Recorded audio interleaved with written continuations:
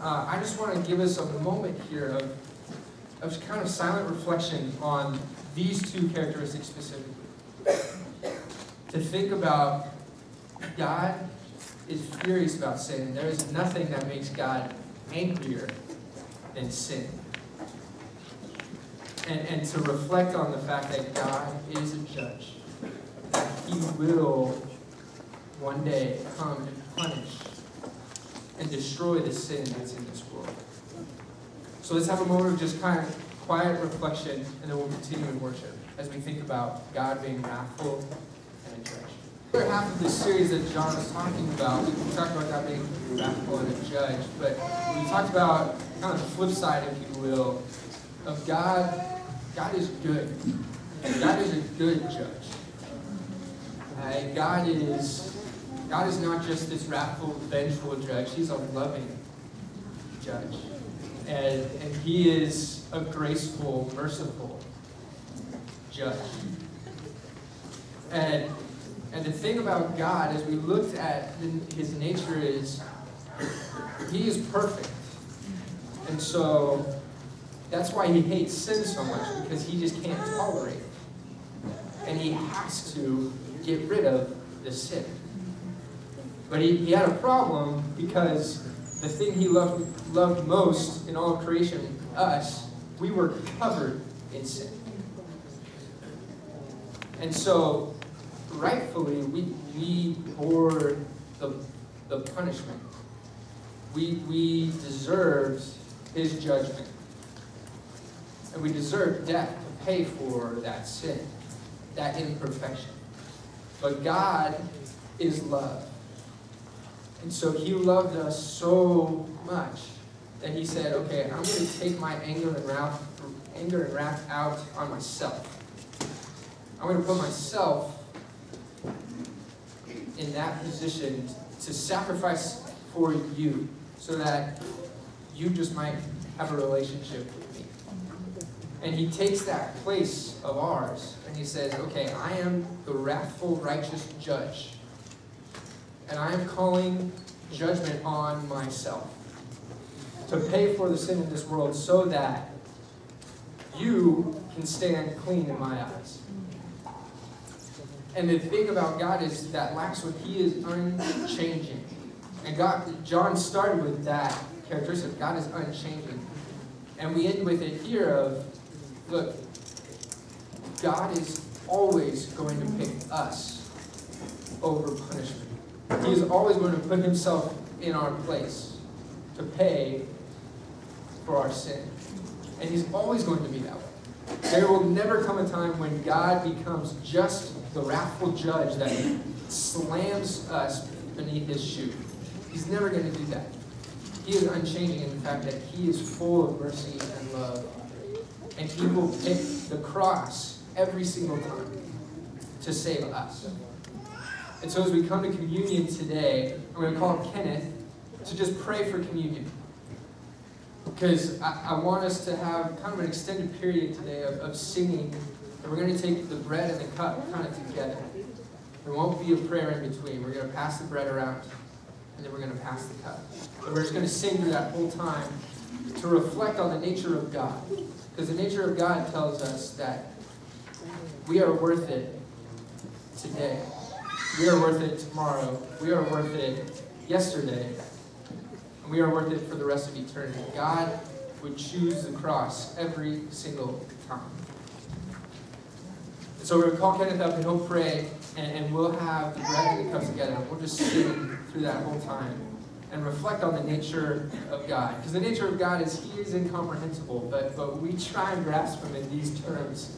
And it gives us somewhat of a picture of the sacrifice that God went through just so that we might have a relationship with Him. So, Kevin, come on up and pray. Let's pray.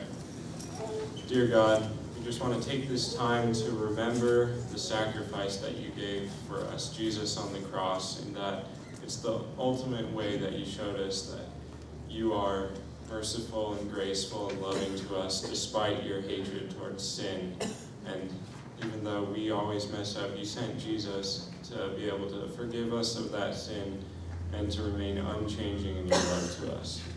In Jesus' name, amen. characteristics of God. Just finished that series.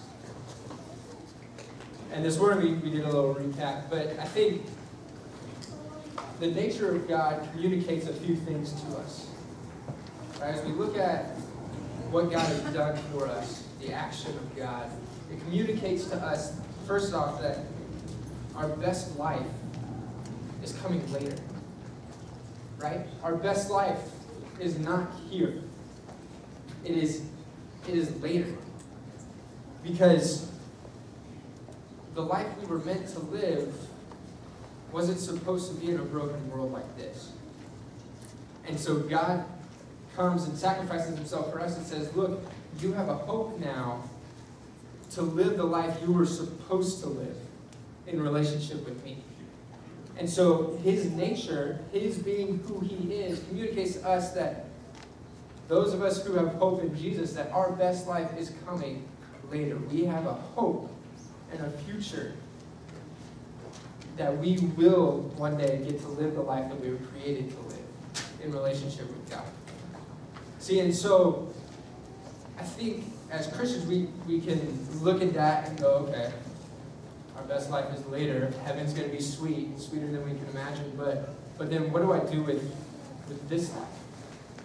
Right? It leaves us wondering, well, what does God want me to do with this life then? If, if my best life is coming later, what am I supposed to do now? What does he, what does he want me to do with this life if I'm just waiting to be with him? And, and Jesus speaks to this clearly. In Luke chapter 14, verse 33, he speaks to this clearly. He says, in the same way, any of you who does not give up everything he has cannot be my disciple. Okay, he says it different ways throughout his ministry, but here it's kind of clear. What does God want us to do with our life? He wants us to give up everything. Jesus says, Look, your best life is coming later, so what do I want you to do with this life? I want you to trust me and give up everything. Give up everything. See, I, I think today we forget this, right? We, we forget this. I think we do. Because we start, we start forgetting what God is really like. We, we start forgetting what God has done. We start forgetting what Jesus calls us to. And we start asking questions that kind of communicate this forgetfulness. We start asking questions like, can I still be a Christian? Can I still go to heaven if I di- divorce my wife? Am I still a Christian even though I'm having sex with my girlfriend? Can I still go to heaven if I commit suicide? If I'm ashamed of talking to my friends about Christ now, will Jesus really be ashamed of me before God on the judgment day? So we start asking these questions that really, underneath all those questions, there, there's one question that we're trying to answer. Right? The, the question that we're really trying to get answered is can I go to heaven if I don't truly and faithfully love Jesus? Where's the wiggle room? Where we try to draw the line, right? We say, okay, how far is too far? What can I do to get in? Is it okay if I show up to Sunday every, you know, show up to church every Sunday, you know, maybe go on a service trip, be a good person, nice to the people who love me? Is that going to be enough to cover my divorce with my wife or, or having sex with my girlfriend or, or whatever it is? And we start trying to draw these lines and answer this question of, can I get into heaven if I don't truly and faithfully love Jesus? If I don't give up everything to Him? And, and Jesus is crystal clear on this, on this point. In Revelation chapter 3, he speaks about this. Because he answers this question. Can we get into heaven without truly and faithfully loving Jesus? Revelation chapter 3, verse 15. He's speaking here. He says, I know your deeds, that you are neither hot nor cold. I wish you were either one or the other. So, because you are lukewarm, neither hot nor cold, I am about to spit you out of my mouth. You say, I am rich. I have acquired wealth and do not need a thing. But you do not realize that you're wretched, pitiful, poor, blind, and naked. I counsel you to buy from me gold refined in the fire, so you can be rich, and white clothes to wear, so you can cover your shameful nakedness, and salve to put on your eyes, so you can see. So Jesus talks, talks about this. He answers that question for us. He says, Look, when you're lukewarm, when you're half committed, that doesn't fly. That's not what I called you to. And, and in fact, when, when you're half committed to me, you make me sick to the point of spitting you out. See, the word spit here is the only time it's used in Scripture, when Jesus uses it here. And in the Greek, it even has a connotation of, of a gagging, of a hurling, a retching. So we get the picture of when we are half committed to Christ, we actually make him physically sick to the point of gagging on us. Now I want to pause, and, and I, I don't want us to sit here and start questioning our salvation, start questioning our relationship with God. I'm not saying that just because you have your lukewarm moments, just because you slip and fall, that means you weren't really a Christian in the first place. No, that's not, that's not what I'm saying. We looked at it. God is merciful, and His grace covers our mistakes, it covers our lukewarm moments. And we all have our half committed moments. But the difference is where is your heart? Is your heart in a position of complete obedience and surrender to Christ, or is it not? Because that's what Jesus is looking for. He realizes we're going to slip up. We're going to have moments where we're scared to give Him everything, so we don't. But He's saying, Are you truly and faithfully in your heart in a position of complete surrender to me, or are you not? See, because we discuss God when we're half committed. Because what we're essentially doing is we're weighing and comparing God against the things of this world. Right? That's what we're doing when we're half committed to God. We're saying, I trust you to a point. I'm going to give you everything that's convenient. I'll give up my Sunday mornings. Okay, I'll go to church. I'll wake up early and go to church. I'll, I'll give you, you know, maybe, I don't know, being a good person. I won't, I won't cheat. I won't lie. I won't steal. I won't kill. Okay, I'm going to give you that. But God, I, I can't give you my career. I can't give you my family. I can't give you my own security. And we're saying to God, I don't trust you enough to give you that stuff. And essentially, we're saying to God that we don't think He can handle it. And, and when we are half committed to Him in that way, when we are scared to give Him everything, Jesus says it sickens Him to the point of throwing up. And so the, the, the key here is can you say to God that He can have whatever He wants? As we look at the nature of God, as we look at what He does, He calls us to give Him everything. Can you say to God right now that He can have whatever He wants? Because we like to play it safe as Christians, don't we? We like to hedge our bets. We like to say, okay, God, I'm all in to an extent. But I'm not, I'm not gonna, I'm not gonna go out of my way to give you everything. See, we like to play it safe in such a way that we are committed to God, but if God really isn't capable of taking care of me, if God really isn't real, then I'm still going to be okay because I held on to these other things. And we, we start saying, God, I'm going to serve you and I'm going to serve this other thing. And, and we know that Jesus says, look, you can't serve both God and money. You can't serve both God and your family. You can't serve both God and your own security. You're either going to love the one and hate the other, or be devoted to the one and despise the other. It's nothing halfway. Halfway doesn't work. God's saying, look, you can't do it that way. That's not real commitment. And it makes me sick when you do it. And so we can't play it safe. As Christians today, people who really claim to follow Christ, we can't play it safe. We can't hedge our bets. We can't be half in. We've got to be all in. Because, see, Jesus calls us out of the boat. Jesus calls us into the storm. Jesus calls us up the hill to Golgotha carrying our cross. And you can't do that halfway. See, because there's a problem when our lives make sense to people who don't know Christ. Because Christ calls us to a life that is out of the boat. He calls us to a life of carrying a cross that to people who don't know Christ, it looks like foolishness. People say, Why are you giving so much to the point of financial sacrifice to the church? Why are you doing that? Why are you loving people who repeatedly trample on you? It doesn't make sense to people. So when our lives make sense to people who don't know Christ, then maybe there's some room for more commitment to Christ. Because, see, he calls us out of the boat into the storm, which the world says is foolishness. You can't walk on water. What are you doing? And Jesus says, Don't worry about it, just come.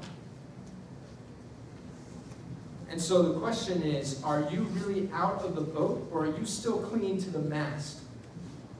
Trying to convince yourself that you're committed to Christ because you're in the boat. See, there's a problem when our lives are making sense to people who don't know Christ. And so, the key is are we ready to follow Jesus? Are we ready to truly follow Jesus? Because if we are, that means we are, we are committed, full in, all in. There's no piece that we hold back, because that's what God demands. You see, and so a question I think that you can ask yourself, because I can't tell you how committed you are. If I did, I'd be completely wrong and you'd call me a hypocrite. There's a question you can ask yourself to kind of determine how, how committed am I? And it's a simple question. It's a question of what are you doing right now that requires faith? What are you doing right now that requires faith? Because God lives, God calls us to live lives of faith. So what are you doing right now that you are dependent upon God in such a way that if God doesn't show up, if God doesn't provide, you're in trouble? How are you walking on the water? See, how, how are you trusting in God so completely that, that you'd be in trouble if He doesn't show up?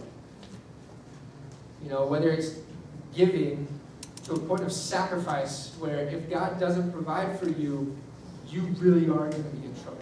Or loving in such a way that it empties you out every single day, that if God doesn't fill you up again, you're going to be trashed. How are you living out your faith? What are you doing right now that requires faith? See, because the thing is, is, is your life bearing fruit? That's the ultimate question. According to Jesus, he says, look, any branch that doesn't bear fruit is going to be cut off. It's going to be thrown into the fire. I'm going to get rid of it. So are you living by faith? Is your life bearing fruit? Love, loving the people that repeatedly trample on you, loving the people that irritate you and get under your skin more than anything else. Love, joy, peace, patience, kindness, goodness, faithfulness, gentleness, self control? Is your life bearing fruit? Because if you're wholeheartedly committed to Jesus, your life will bear fruit. Even if you try to make it not bear fruit, it'll bear fruit. Because you're committed to Christ. You're living by faith. You're being who He's calling you to be. And so this morning, as, as we've looked at the nature of God, as we've looked at what He has done for us, He calls us to commitment and it's a tough commitment. He says, count the cost before you do this, because it's a huge cost. Let me give you a hint it costs you everything. Everything. Are you willing to make that choice? Are you willing to make that sacrifice It's, it's about living in this mentality of, look, our best life is later. But the problem comes when we get wrapped up in this world and we say, I think this is my home. I'm really comfortable here. I like it here. I don't want to give this up. But Jesus calls us to remind us that, look, this is not your home. Your home is coming when you get to finally be with me. And so, what are you doing now to live by faith and to surrender it all back to me? Because your best life is coming later. Your home is not here. So, so what are you doing now that is fully committed to me? See, and I think if we're sitting here this morning saying, maybe I do need to be a little more committed. Maybe there are some things in my life that I haven't given up. I want to tell you that the key to becoming more surrendered to Christ is not about trying harder. Okay, let me say that again. The key to becoming more surrendered to Christ is not about trying harder. It's not about being more spiritual. It's not about trying to love more or give more. Because you're never going to be good enough. God's standard is perfection. We all fall far short of that. He demands everything. But in order to surrender everything, it's not about trying harder because you're never going to be able to do it. The key to being surrendered more to Christ is to fall more in love with Christ. If you, if you aren't completely surrendered to Christ, if your heart isn't in a position of complete obedience, if you're not all in, don't try harder. Take a longer time looking at the face of God. Spend time getting to know this Creator. Because then your natural response will be to completely surrender everything. Because His nature communicates to us that He has what's best for us, that we have a better life coming, that our home is not here. And so to fully surrender to Christ, you just got to fall more in love with Christ. It's not about trying harder, it's about spending more time with your Creator. It's about coming to Him and saying, God, I want to see you. I want to hear your voice. Help me to see you. Help me to be more surrendered. And you'll fall in love with Him, and you'll look at the face of Creator, and you say, okay, I'm all in. I can give up everything now because I realize that my home isn't here. And that my better life, my best life, isn't right now. It's later. And so this life is all about being surrendered to Christ.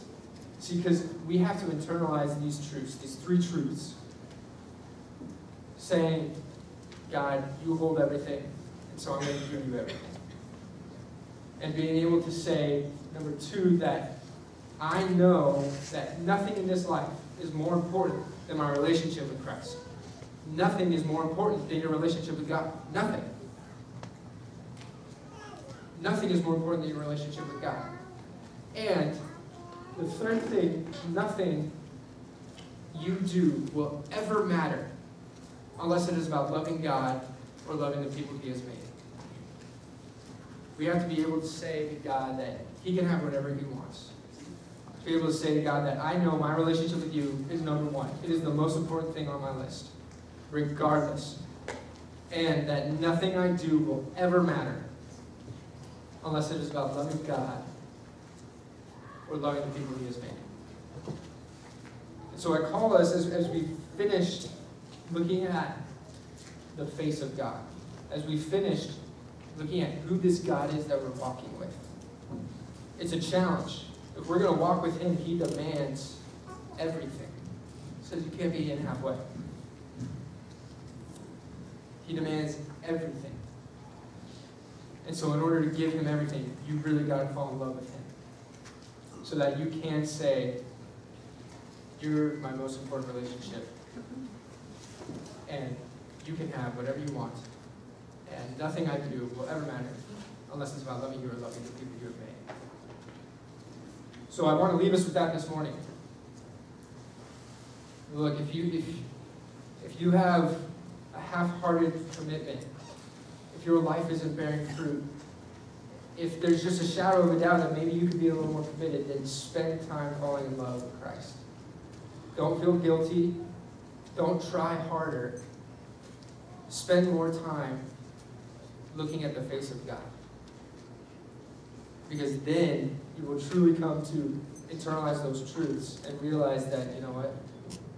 My home is not here. My better life is coming later. And so I can give this up. And I can start being the person that God really needs me to be here in this world. Because this world is fading.